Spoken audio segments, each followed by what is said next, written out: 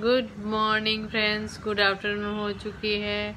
और जैसे कि आपको पता है, मेरा नाम स्मिता त्रिपाठी है। और ये, और मैं एक डिफेंस अफसर की वाइफ हूँ, ये भी आपको पता होगा। और ये देखिए, मेरे पास कौन लेटा है? जल्दी बोलो हेलो आके ये लेटी हैं? लारा त्रिपाठी, ये देखिए।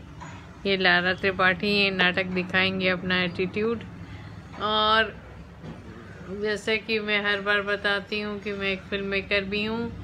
और क्या हूँ? लारा, देखो, अब इनको इस समय मेरे साथ खेलना है। जहाँ मैं ब्लॉग बनाने बैठी, इनको कुछ ना कुछ बदमाशी करनी होती है। और मैं एक एनिमल लवर भी हूँ। हाँ जी, ये एनिमल लवर ज़रूर याद रखिएगा बाकी कुछ और याद रखे, ना रखे। और मैंने अपने बाल किए हैं कटाज, और मैंने नहीं किए काम, मेरे हस्बैंड ने किया है। क्योंकि मुझे लंबे बाल बहुत उलझन दे रहे थे तो कोविड के टाइम पे बाहर तो जा नहीं सकते तो उन्होंने घर पे ही काट दिए मेरे बाल। बताइएगा मेरा नया हेयर स्टाइल कैसा लग रहा है? कैसा भी लग रहा हो, पर मुझे बाल बहुत हल्के लग रहे हैं, क्योंकि जैसा कि आपको पता है, मेरा हाथ पैर ठीक से काम नहीं करता अभी भी। तो मुझे लंबे बालों में कंघी करने में बहुत उलझन हो रही थी तो मैं उससे काफ़ी रिलीफ फील कर रही हूँ। तो ये मेरे लिए सबसे बड़ी बात है। तो मैंने कहा, बाल कट गए मेरे आज। और आपको पता ही है कि सावली सलोनी को नया घर मिल गया। तो ये एक बड़ी खुशखबरी है जो मैंने आप लोगों से कल शेयर की थी। और सबसे अच्छी बात है, बहुत खुश है, बहुत अच्छे से हैं। और मुझे, मैंने से सबसे बड़ी सीख सीखी कि पैसे से ही सब कुछ नहीं होता, दिल से होता है। एक सिंपल सा परिवार जिसने सावली सलोनी को रखा हुआ है और बड़े प्यार से रखा हुआ है। अगर हम उन सब मिलके उनकी कुछ मदद कर पाएँ तो बहुत अच्छा होगा। और ऐसे लोगों के लिए बहुत बड़ा एग्जाम्पल्स होगा, ऐसी सोसाइटीज़ के लिए बहुत बड़ा एग्जाम्पल्स होगा, जो बहुत पैसा होकर के, सब कुछ होकर के भी एक दो पपीज़ को रखने को तैयार नहीं है। मैंने कल एक छोटा सा सजेशन दिया था फेसबुक पे डाला था अपने मैंने, कि अगर हम लोग दो दो पपीज़ भी सोसाइटीज़ में रख लें स्पेशली पप्स जो रोड पे मरते हैं, वो ये इश्यूज़ ख़त्म हो जाएँगे। और अगर एक केयर टेकर रख लिया जाए, अगर 25 आप सोचो 25 लोग भी हैं एक सोसाइटी में और हर आदमी अगर पाँच सौ रुपये भी कंट्रीब्यूट करे तो उस केयर टेकर को पैसे मिल जाएँगे। कोविड में किसी को काम मिल जाएगा। अच्छे भले दो पप्स जो बिना माँ के कई बार पड़े रहते हैं रोडों पे, उनको कोई देखने वाला नहीं होता। बेचारे गाड़ियों के नीचे जाके कुचल जाते हैं या बिना भूख प्यास के मर जाते हैं। उनको घर मिल जाएगा, किसी को काम मिल जाएगा। और ज़िंदगी भर वो आपको इस प्यार कर लॉयल्टी दिखाते रहेंगे। फाइनली आपकी सोसाइटी की सुरक्षा करने लगेंगे। कोई भी हम लोग सिक्योरिटी गार्ड्स रखते हैं, चीज़ें रखते हैं सिक्योरिटी के लिए तो इससे बढ़िया सिक्योरिटी और लॉयल्टी आपको कोई नहीं दे सकता। उनको इंजेक्शन लगाते रहिए। टाइम टाइम पे आपके बच्चे लोग भी हैं, वो आकर के खेलेंगे उनके साथ। तो मुझे इसमें नहीं समझ में आता कि क्या बुराई है इसमें। मुझे लगता है कि बहुत ज़्यादा लोग इसके ऊपर सोचने लगते हैं कि अरे भाई, रख लिया तो गंदा करेंगे, वो ये करेंगे, कल को रेबीज हो गया तो। सब बातें अपने मन से सोच लो, इसलिए इस थॉट को ही रिजेक्ट कर दो। इस थॉट को ही रिजेक्ट कर दो। इसमें एनिमल लवर या नॉन नॉन लवर की बात नहीं है। बात होती है कि हम अगर कुछ छोटे से स्टेप से सभी को फ़ायदा हो पाए तो उसको आदमी क्यों ना उठाए? तो मैंने इन परिवार से यही सीखा, देखिए मैं आर्य कॉलोनी में निकले, हम लेकर के उसको, और हमें एक परिवार मिल गया जो हम कितनी सोसाइटीज़ और एनजीओ में तलाश रहे थे। तो इसके आंसर्स कितने सिंपल हैं? पर अगर हमें आंसर्स निकालने ही नहीं है तो वो बातें अलग हैं कि हमको आंसर्स ही नहीं ढूँढने हैं, जी। हमको इसका आंसर्स ही नहीं चाहिए। तो वो बातें फिर अलग हो जाती हैं। इसलिए मैं इस टॉपिक को उठाती रहूँगी, इसके ऊपर मैं बार बार बात करती रहूँगी। तब तक, जब तक कि हम फाइनली इसके सॉल्यूशंस निकालने नहीं लग जाते। और मुझे जिस चीज़ पे बात करनी है, वो ये है कि मैंने एक अपना ब्लॉग भी बनाया था। अगर आपने नहीं देखा तो उसको देख सकते हैं। पर उसकी कुछ बातें मैं फिर से इस ब्लॉग में रिपीट करूँगी कि मैं देख रही हूँ और हम सब एक्सपीरियंस कर रहे हैं कहीं ना कहीं अपने घरों में, अपने दोस्तों में।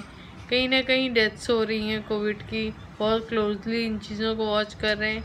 और हर आदमी किसी ना किसी तरह के एंग्जाइटी एंक्शसपन और मेंटल डिप्रेशन से गुजर रहा है। और ये सचमुच में एक वर्ल्ड वाइड प्रॉब्लम हो गई है। ऐसा नहीं है कि हमें तो थोड़े से एग्जांपल्स अपने घरों में या दोस्तों में दिख रहे होंगे तो वर्ल्ड वाइड डिप्रेशन है एंक्शस एंगजाइटी की बहुत लोगों की सेकेट्री मेडिसिन शुरू हो गई। ऐसे लोगों की जिनकी हमने कभी नहीं सोचा था कि इनको किसी चीज़ का भी फेयर होगा। सचमुच ये एक चीज़ इतनी ख़तरनाक है। तो हम सबको एक तो सावधान रहना है। दूसरी चीज़, अपने डिप्रेशन को, मुझे भी डिप्रेशन बहुत, एक दो बार बहुत और बहुत तगड़े डिप्रेशन हुए हैं। मतलब अगर मेरी जान बच गई तो भगवान ही उसके लिए ज़िम्मेदार है और कोई नहीं। तो एडमिट करिए कि आपको डिप्रेशन है, आपको प्रॉब्लम हो रही है। इस चीज़ को एडमिट डिनाइल मोड में रहना is not the correct answer admit करिए कि हमको प्रॉब्लम है, ताकि आपके क्लोज रिलेटिव्स आपके अपने लोग, आपके फ्रेंड्स आपको इस प्रॉब्लम से निकालने की सोचे, इसमें आपकी मदद करें। खुल के मदद मांगिए। कोई शर्म की बात नहीं। है खुल के मदद मांगिए इन चीज़ों का।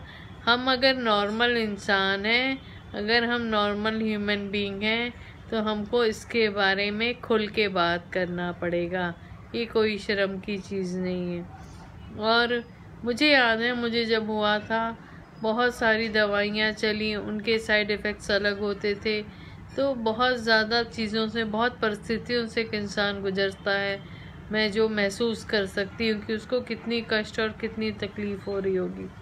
और फाइनली मैंने इससे खुद ही को निकाला। खुद ही को निकालने का मतलब था, मैंने अपनी लाइफ में खुद को चैलेंज देना शुरू किया।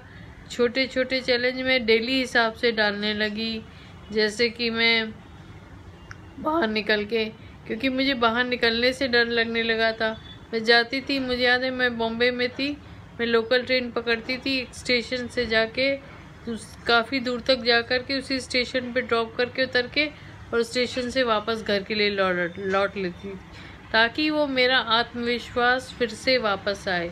मेरी बॉडी माइंड सुसाइडल हो रहा था तो वो मुझे तरह तरह से मैसेजेस देता था। मैंने उन मैसेजेस को फेस करना शुरू किया। यहाँ तक कि वो मुझे मैसेज देता था कि भाई छत की एच पे जाओ और कूद जाओ। यहाँ तक मैंने फेस किया और मैं जाके छत की एज पे खड़े होके मैंने अपने माइंड को चैलेंज करना शुरू कर दिया कर दिया कि हाँ अब मुझे तुम खुद आके दिखाओ। माइंड इतना बदमाश होता है। अगर आप इसको राइट फीडिंग नहीं देंगे, इसलिए बहुत केयरफुल रहिए कि आप नेगेटिव न्यूज़ से बचें आपके बच्चे इस कोविड पीरियड में क्या देख रहे हैं, क्या खेल रहे हैं? क्योंकि ऑनलाइन स्कूल्स चल रहे हैं रेगुलर स्कूल्स नहीं हैं तो बच्चे किसी ना किसी चीज़ से तो अपना समय बिता रहे हैं। वो किस तरह के समय बिता रहे हैं वह यूट्यूब या सोशल मीडिया पे किस तरह की चीज़ों को देख रहे हैं, उसको ध्यान में रखिए। और मैंने अपने को जब इस तरह से मेंटली चैलेंज शुरू किया तो अब मेरा माइंड इतना पॉजिटिव हो चुका है रियली में कि मुझे कोई चीज़ प्रॉब्लम लगती नहीं, कोई सिचुएशन प्रॉब्लमेटिक लगती नहीं। माइंड को मैंने टोटल सॉल्यूशन मोड में करके अपने को डाल लिया है। इसको कहते हैं मेंटल स्ट्रेंथ, जो हम सबके लिए ज़रूरी है। क्योंकि ये कहना कि, सिर्फ़ कह देना कि अरे, हमको किसी सिचुएशन से डर नहीं लगता, या हमको किसी सिचुएशन से कोई फ़र्क नहीं पड़ता, ये सिर्फ़ कहने वाली बातें हैं भाई साहब। जिसके घर में डेथ्स हो गई है ना कोविड की वजह से, या जिसकी वजह घर में जो कोविड से गुजरा है, उसके लिए ये डेफिनेटली बहुत हॉरीफाइंग एक्सपीरियंस है और उससे बाहर आना बहुत मुश्किल है। तो उसके लिए तो सबसे पहले ज़रूरी है कि हम ऐसे लोगों की मदद कैसे कर सकते हैं, ये हम सुने। हम ज़्यादा से ज़्यादा ऐसे एग्जाम्पल्स को सुने जो लोग ऐसी चीज़ों से बाहर आए। मैं तो बहुत ट्रामास देखे हैं लास्ट ईयर में ब्रेन हेमरेज चार बार मुझे ब्रेन हेमरेज हो चुका। मेरा हाफ़ एरिया अभी भी ठीक से काम नहीं करता। रूटीन पे मुझे कोई ना कोई इशू रहते हैं। उसी में मैंने पूरी एक फ़िल्म बना के खड़ा कर लिया उसी में मैं अपना सेकंड प्रोजेक्ट कर रही हूँ। उसी पे मैं अपना थर्ड प्रोजेक्ट कर रही हूँ। तो ये चीज़ें होती हैं कब? जब हम लाइफ में एक्सेप्ट कर लेते हैं। एक्सेप्टेंस बहुत ज़रूरी कि भाई लाइफ को कंफर्ट जोन में नहीं होना चाहिए। अगर लाइफ बहुत कंफर्ट जोन में होगी तो हमारी ग्रोथ कैसे होगी? अब भगवान ने ऑलरेडी हमारी लाइफ को बहुत कंफर्ट जोन में डाल रखा है। उसके लिए एक थैंकफुल फीलिंग भी होना चाहिए। और डाइवर्जेंस रखिए। मैंने कोशिश की इसमें डाइवर्जन रहने की। मैं डॉग से डाइवर्टेड रहती हूँ। देखती हूँ उनकी मदद कैसे कर पाऊँ। मैं अपने प्लांट्स पौधों के बीच में थोड़ा सोशल वर्क नए लोगों से बातचीत करना अपने कामों में और क्या नॉवल्टी ला सकती हूँ? राइटिंग की भी हैबिट डेवलप की। तो मैं तो इस तरह से क्या होता है कि आपकी लाइफ में डाइवर्जन रहते हैं तो मुझे पता ही नहीं चलता कि कोविड का पीरियड चल रहा है।